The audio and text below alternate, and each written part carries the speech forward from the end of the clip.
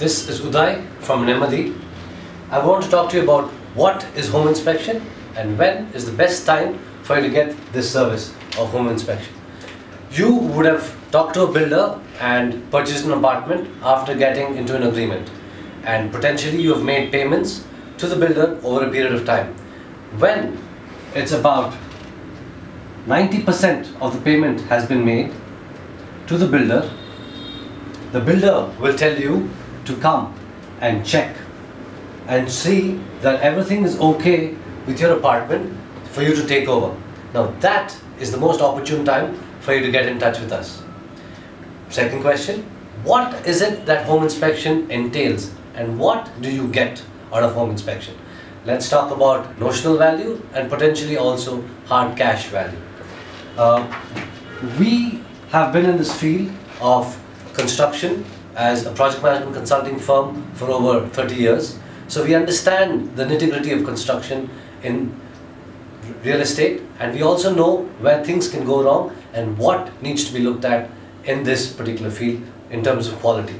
So when you get in touch with us, we will look at a couple of things. First, we start with specifications.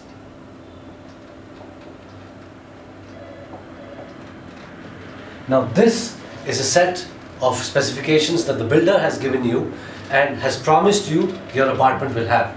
Now what does specification mean?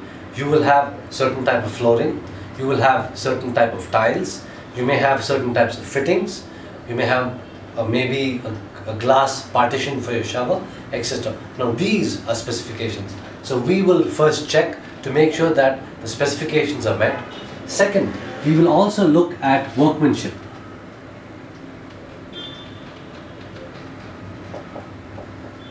Now, workmanship, where do you look at? What do you look at? How do you look at? Now, from our experience from the parent company, after having done over 1,500 projects, we know that we have a checklist which is our IP and has over 1,500 points for a 2,000 square foot apartment. Right? So our checklist is in detail and has a lot of information that we can look at. Now this comes from experience. Now what are the things that we look at? We look at whether there are any chips uh, in your tiling, whether there are any hollow tiles, whether painting has been done properly, if there is any undulation, any of these things can be looked at. So that is workmanship and that has about 1500 points for a 2000 square foot apartment. This is the experience that we have and we bring about. Now the other thing that we look at is area. Now area has been mandated by RERA. RERA now tells you how area needs to be measured. Earlier there was carpet area, saleable area, super built up area, all of these different things. But now RERA mandates how carpet area needs to be measured. We measure carpet area as mandated by RERA and give you a statement. This will help you understand what was provided to you by the builder and what you have at home. Now, the other thing that we also look at is dampness, seepage.